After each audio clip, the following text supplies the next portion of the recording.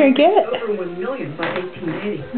Most of Manhattan is now becoming full There's no, there aren't that many places to grow. Oh, Yeah. in 1873, the New York City. She figures if she crawls over, she can put her finger right on it. As New York moved up towns, real estate speculators saw Hi. dollar signs in this bucolic Hi. landscape. Cute, Hi. side. Hi. And you can see that the places that Hello, Grandma. they're being